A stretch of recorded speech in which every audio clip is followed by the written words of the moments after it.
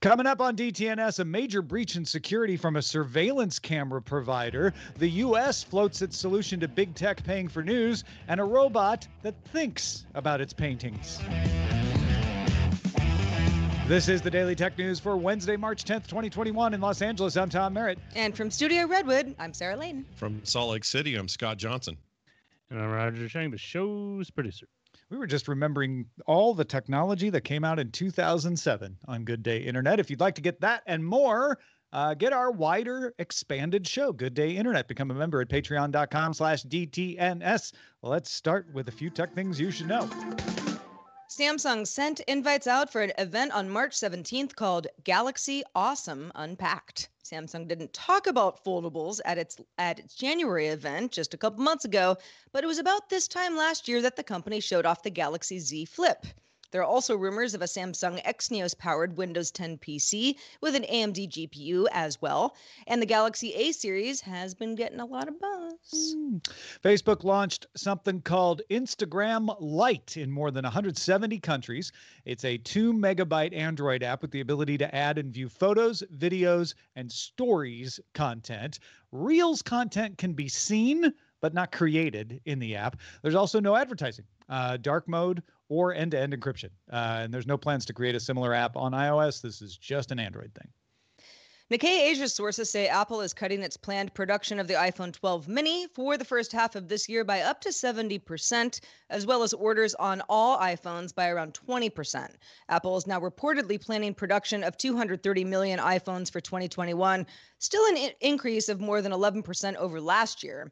The revision reflects a more accurate sense of demand and a correction for estimates of which parts might experience shortages. Multiple data centers of Strasbourg, France based cloud computing company OVH, which is the largest hosting provider in Europe and third largest in the world, have been destroyed by fire.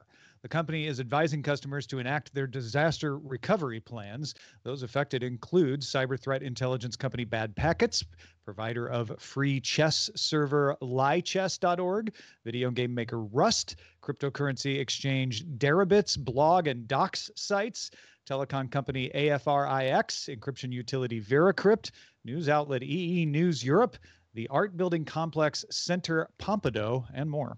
Wow. Russia's communications regulator Roskomnadzor announced that it has ordered ISPs to use deep packet inspection to slow down the speed of Twitter's service on all mobile devices and half of desktops. The agency claims that Twitter has been too slow in taking down illegal posts about such things as suicide, drug use, and child pornography. It says that Twitter has been sent sent more than 28,000 requests since 2017, but 3,168 still remain on the platform. All right, uh, that server fire is is bad. Uh, this is also not good. A group was able to access admin tools inside a company called Verkada. Uh, V E R K A D A. Verkada supplies surveillance cameras, mostly to businesses and organizations. Uh, they have more than 5,200 customers, including cities, colleges, hotels, and the like. Verkada also includes a beta facial recognition feature that can identify people across time and sort access by clothing color, gender, other attributes like that. Swiss developer Tillie Kottmann shared with Reuters recordings from inside a Chinese supplier to Tesla. Also shared them with Bloomberg, which reported this first. Uh, a Chinese supplier to Tesla, also a jail in Alabama, hospital rooms, a police interview room, a community gym. Cameras were also accessed at Cloudflare and Okta. Cloudflare says no customer data was affected. Okta says its service was not affected either. Bloomberg reports Verkada manages service for more than 150,000 cameras, and these folks had access to all of them.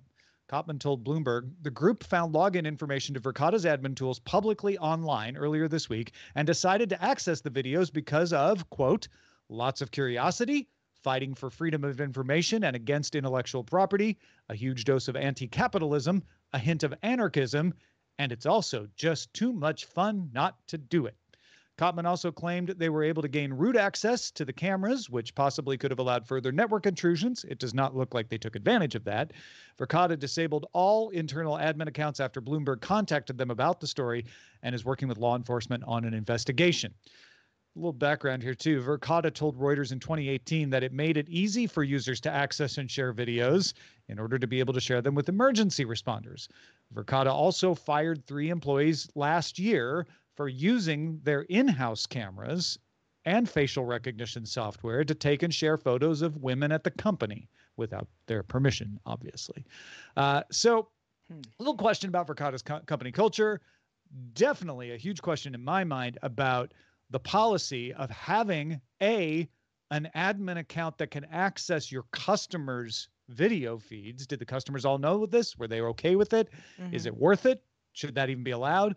And how were they able to get credentials online? Is there not two-factor authentication on this on this super admin account to 150,000 cameras? Uh, I find that unconscionable. Yeah, especially when you think of things like uh, hotels. Sure, we're pretty used to cameras being here and there at, at certain uh, places where you go, well, of course, they're going to see who's coming and going. Um, a uh, prison system, you know, a jail in Alabama, as you mentioned, Tom, or a hospital. There are there are certain places where you say, well, we've gotten used to this because we care about the security of that place's operation. Sure. But but what yeah, who's supplying the cameras and how secure is that company? And when you've got instances such as this where people are saying, eh, it's just too much fun not to do it because they weren't secure, that's a bad thing. Well, in this case, I'm really glad that they even though you know clearly they did it mostly for the lulls they didn't do it to hold anyone hostage and they could have gotten it could have gotten worse um, uh, tom and i talked about this a little bit this morning and you would you call it a gray hat um, hacking attempt um, where it's yeah. a little bit you know it's certainly it, not a white hat attempt right. but i don't know if it's entirely a black hat because they they could have done more and they didn't and yeah. and they went to the press with it which is right. a this isn't responsible disclosure but it's the kind of thing you do when it's a responsible disclosure so it's it's yeah it's in that gray area yeah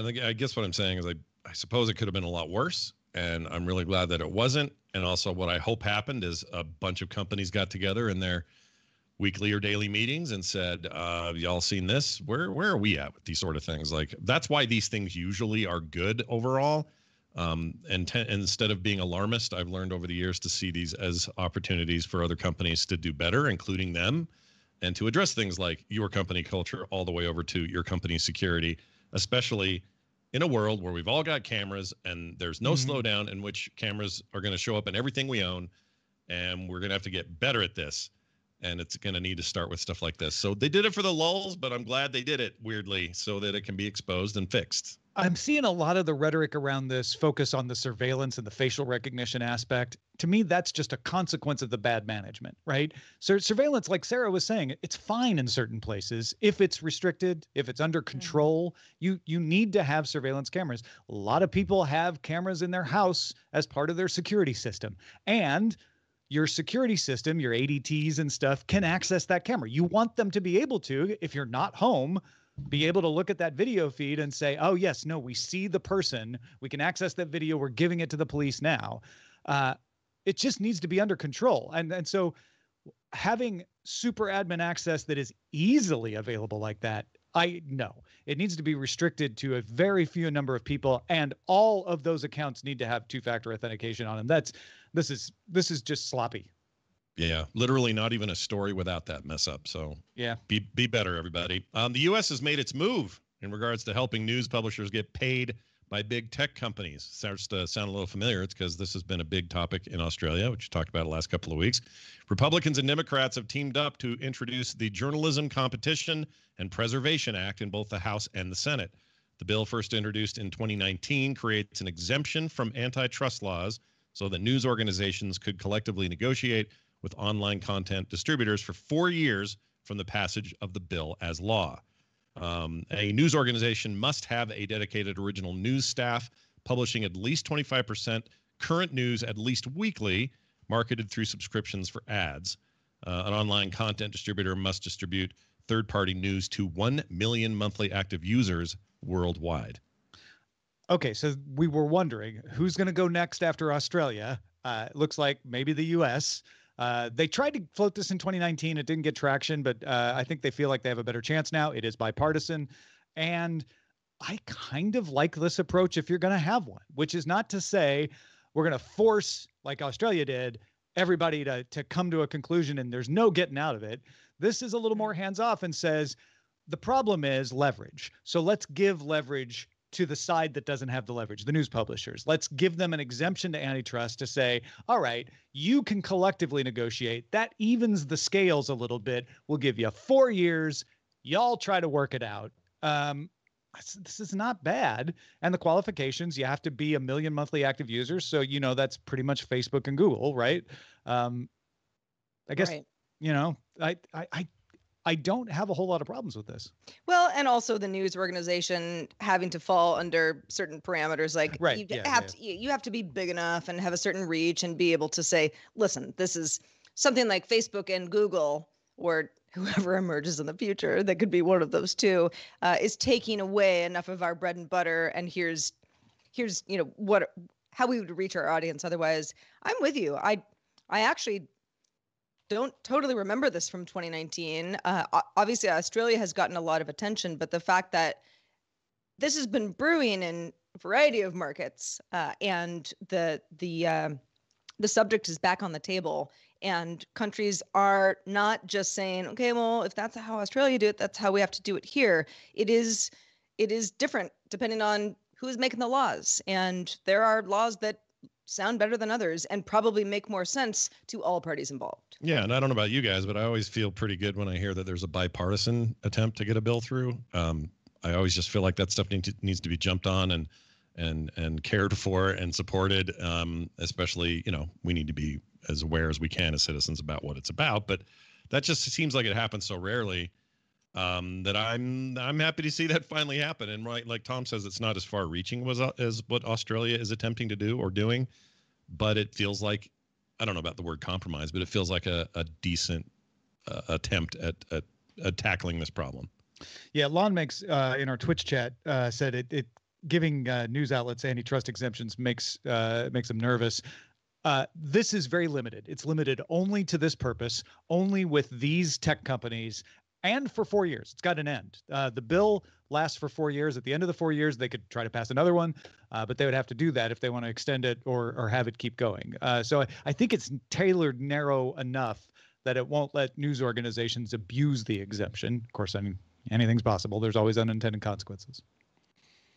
Insider sources say that Amazon has reached the late prototype stage for a home robot codenamed Vesta, named after the Roman goddess of the hearth. Hmm. Vesta is about the size of two small cats, so that's not all that big. I guess it depends on small cats, and about 10 to 13 inches wide. It includes a screen, a microphone, several cameras, and sensors for monitoring temperature, humidity, air quality, and a small compartment for carrying things, and also a waist high retractable pole with a camera. So it's kind of doing a lot of the stuff that would you would do indoors otherwise. It's described by The Verge as an Echo on wheels. It's able to respond to spoken commands and interact with other smart home devices that you already might have. Insider quoted a source directly involved with the project as saying, People are very skeptical. We're worried it can turn into another Fire phone. We know how that turned out. So, what do we think about Vesta? Is it more Amazon Echo or more Fire phone? Oh man, I uh, the name sounds like knockoff Windows, but um, anyway, forget about that Windows for a Vesta. here's my here's my uh, dream application here. I'm a pretty hardy user of my Echoes, and I say that plural because there are three of them in the house in different places. And if I had any real complaint, it would be they're not omnipresent. I do kind of have to be in the room, or I have the opposite problem if there's one sort of in between, or there's two of them that can hear me. They're both trying to do the same thing at the same time. That's Mm. kind of a problem, especially as music or something. Um, so my idea, uh, my application here would be: Can this thing just kind of follow me around all the time um, until we get little floating droney type things like Bits and Tron or whatever? Um, this might be a way to deal with this. So this thing just sort of knows where I'm going, or it, or let's say I'm remotely somewhere, I'm on vacation finally after the pandemic, and I can at home say, mm, I need to check something in the garage, or I need to check something in the office, and I can tell that thing remotely to drive in there and just film around and film, you know, just kind of do a video run through the office to make sure I'm not being paranoid about something I thought lit up that shouldn't, or if there's a fire hazard or whatever thing I I want to have this thing do. You want that ring drone then? It could just fly in there. Kind of, yeah. Like I, that is the ultimate uh, place we're going to be for this sort of stuff, probably. Whether or not this thing's mobile enough, how does that get through doors that are shut? Like, probably Yeah. can't. Um, just like you know, or, or you're not going to get most little robots through any doors, including cleaning ones. So, a little of this is pie in the sky, but being able to take it with me, and I know I've got a phone with me, so some would say, well, Scott, you've already got your personal data assistant. I realize that, but I like an autonomous, almost creature that I can just say, go do this, go do that. Like I want more more of that in my life and i would i would you know i would be interested in that but that is not this version we're probably five ten years away before i start to see what i want I have the same feelings as you, though, Scott. I, I have an Echo. Um, it's in a, uh particular area of my house where I feel like I s- can kind of look at the screen most often. But uh, there are many times, and when I first got it, I went through this like aha moment where I was like, oh, wait, it has to be plugged in and left on a shelf. I can't just, you know, undock it and move it around like a laptop type thing. I would love it if I could do that because I actually really like the device. To have something that's more sort of, yeah, like just kind of my little right hand man or lady, whatever you want to call it, right hand robot, Vesta. Yeah. That's that's that's hovering. And we talked about just on the show yesterday the idea of uh, smart assistants being able to gather more information like irregular heartbeats. And the fact that you can't be like too far away from devices at this point to be able for that to work effectively having something that could kind of sense you and help you out or you call it over type thing would be great. That said i already have lots of thoughts on the limitations of my roomba which amazon does not make. Uh, it's an irobot product. But yeah the idea of a small little device being able to navigate a home and what might change in the home and who might be standing in the home and there's pets involved and are there stairs yeah are there you know little steps between rooms all of that totally remains to be seen how effective this would be It doesn't have robot arms, A, but that's the only bad thing I could think about. It, it was November 2014 when the Echo was first announced. And I remember thinking, I don't know why, but I think I'm going to really like this. And everybody had all kinds of reasons why the Echo was dumb. Look at it now. I'm getting the same vibe out of the Vesta, which is like, there's all kinds of reasons why this shouldn't work. But I feel a weird optimism about it. Hmm. So hmm. I'm in. Let's do it. all right Uh, folks, what do you think of the Vesta? Join in the conversation in our Discord and, and let ourselves and others know. You can join by linking to a Patreon account at patreon.com slash DTNS.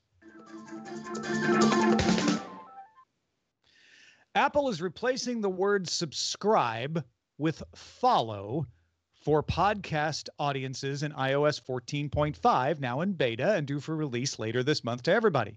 This was reported by Podnews first, according to a research from Edison Research. About 47% of users associate subscribe with paid content and don't always realize that some content is free. 9to5Mac points out that previous rumors suggest Apple might be working on a new paid podcast platform, which would make the distinction all the more important paid subscription versus follow. So let's immediately jump to the people who will not realize that follow means that you actually get the episodes delivered to you. They just think it's like following someone on Twitter. Yeah, that's a problem. Um, a big problem as as far as I'm concerned. But is it as big as the eternal problem we've had since 2006 when they implemented podcasting as a feature in iTunes? Was subscribe ever any good? It was always kind of hard to explain. But now we're kind of there. It's like podcasting as a term in general. Everyone's just accepted it. We've stopped trying to call it different things and we've just accepted it for what it was. So now, whether you're Apple or a billion other platforms that support podcasts, they just call them podcasts because that's the name. It's the Kleenex of the business. so I feel like the subscribe part, I feel like we're probably over it. And I think this is a little weird. I think maybe earlier on we could have used a switch in the nomenclature, but now, all these years later, remember 06, long time ago, now we're in a place where subscription means paying for a bunch of things and follow means social media stuff. And so it's just more confusing, I think. I think they're kind of in a rock and a hard place, though. I don't know how else you do it. I I don't know. I for long long time, and I gave up the whole idea of is podcast the right word for what we're all doing? Uh, you know, it's new media, right?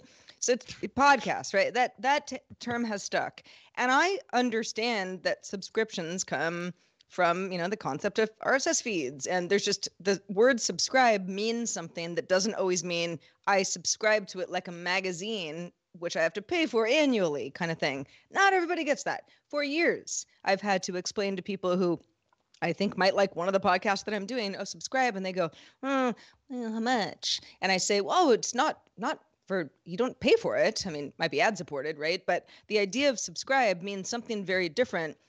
But now we're getting into a point where it's not just for podcasts, but you know, certain uh, articles that are paywalled where there's a subscription to maybe access a particular newsletter. I mean, that's more prevalent than ever. And I think, you know, the YouTubes, the Twitches, on Twitch, it's still like slightly confusing. Well, it's not confusing to me anymore, but it was a little bit at first where I'm like, am I subscribed or am I just following? Because I have two choices.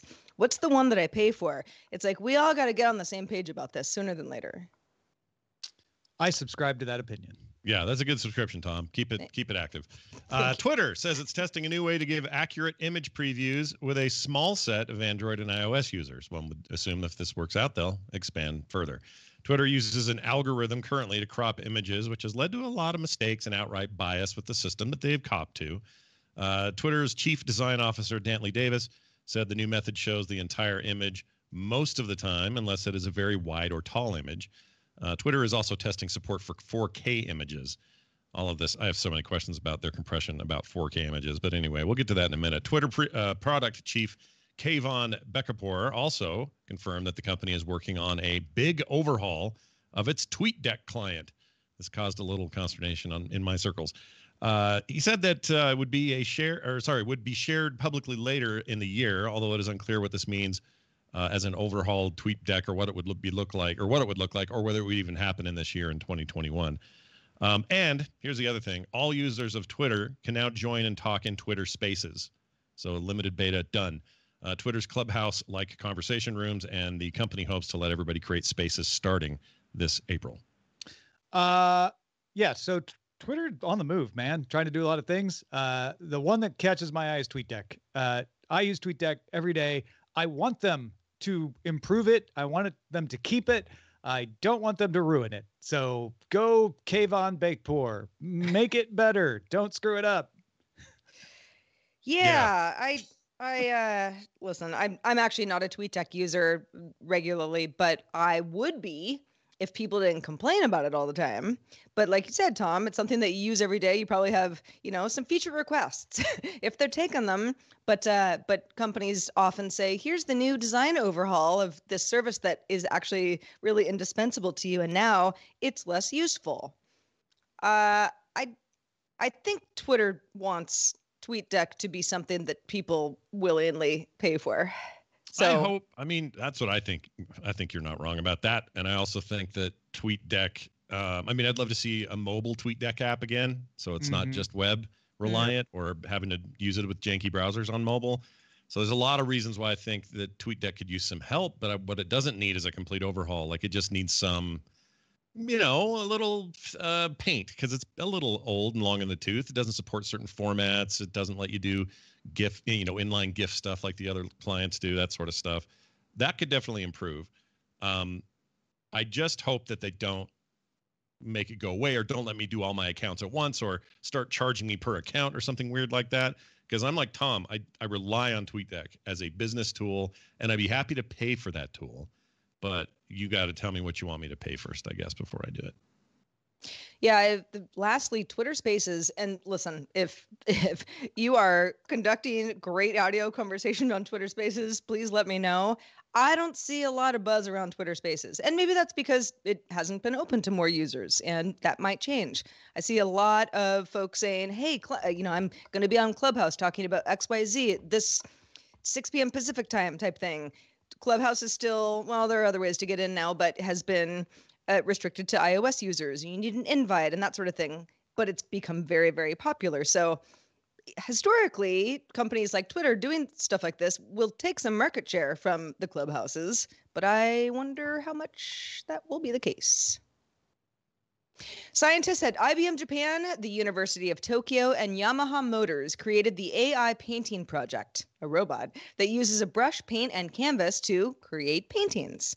The algorithms were programmed to make the art most like a presented concept rather than just random designs that were made by a robot. It's also programmed with artistic values to guide it, so you can set parameters for the art, like limiting brushstrokes. 30 brushstrokes would produce something a little bit more abstract. 300 would result in a more realistic painting. The robot works with acrylics, also watercolors, and can mix paint with water. The scientists are working on a visual system that will let the robot see its paintings as it makes them. And if this sounds interesting to you, you can see the AI painting project as part of a, its work as part of South by Southwest 2021, which launches virtually on March 16th. Yeah. So I know you know what, Tom. Uh, the Wednesday listeners, the regular Wednesday folks, you're probably your everyday folks, but you're gonna want you. You're all thinking, oh, Scott's gonna complain that robots are gonna take over the art world. I'm not gonna do that today. I think this is really cool, and I want a robot that will paint for me. Yeah. That's all I have to say about I it. love the way in the video that they, they that it pauses, like it's thinking about what the next stroke should be. Uh, I love that you can say like, you know, give me a landscape or you know, give give me something impressionistic. Uh, that you can present the concept. It's not just machine learning. Like I decided to put out. Blah. Uh, it's it's really interesting. Such a painter robot of me to say. Yeah. yeah, I I love this too. I I think it's uh I don't know. That there are so many opportunities to have something that's truly unique Mhm. and you know maybe it's something you hang on your wall maybe it's something different but something that that feels like your own that was created in a way that you dictated but was made by a robot love it Yeah. Yeah, One this the, is not other, making AI creative, no. but it's a little tiny step towards that. and just imagine that you love i don't know landscapes or abstract art and you could say to this thing make me a big canvas of abstract art and then you put that up on your frame and maybe you've got a digital frame so it can change real easily and now you're happy with that and then a week later i'm sick of that one. Make me another one. It makes another one. You put it up there. Like you can always change. I mean there are some actually practical like home reasons you might want something like this not just that you can't afford a particular artist or whatever. This would have those ramifications. So i'm actually kind of pro this thing. It'll be cool well earlier in the show tom reminded y'all to uh, uh, join in the conversation in our discord and just a reminder that we have a lot of great channels to talk with your community friends. In fact we just added an entertainment channel which is poppin' there's also some great talk about coffee beer and the food channel follow versus subscribe. People have opinions over in the Apple channel, and there are more, just to name a few. So jump into our Discord and join in the conversation. Also, if you have heard anything on the show and you say, I just want to email you guys about it, please do so. Feedback at dailytechnewsshow.com. Shout out to patrons at our master and grandmaster levels. Today they include Dale McCahey, Ollie Sanjabi, and Paul Thiessen. Also, thanks to our brand new boss, Richard. We see you. Just started backing us on Patreon, so thanks so much, new boss. Also, thanks to Scott Johnson for being with us today. Scott, what's been going on in the Frog Pants world? plenty of stuff. Uh, if you are interested in what's going on, we're having a weird year in video games. For example, um, I do a lot of video games coverage on various shows on my network, and we're seeing the pandemic start to show in release dates when that impact slowed things down, created delays, and then what it actually seemed to do in the positive way for indies. Indies are popping. So, if you want to learn more about that and why we think that's a trend that'll probably last for the next three, four years, uh, check out the show Core, which is over at frogpants.com slash core, where we talk about core gaming each and every week. Hey, folks, if you want just the headlines, sometimes you don't have time even for just 30 minutes. Uh, check out our related show, Daily Tech Headlines. Jen Cutter has joined Rich Stroffolino. Uh, Jen just did did her, her first solo effort. She's been doing the weekend review uh, as well. Rich Stroffolino brings it to you the rest of the days. All the essential tech news in about five minutes at dailytechheadlines.com. We're live Monday through Friday at 4:30 p.m. Eastern here on this show. That's 2130 UTC, and you can find out more at dailytechnewsshow.com/live. Back tomorrow with Justin Robert Young. Talk to you then.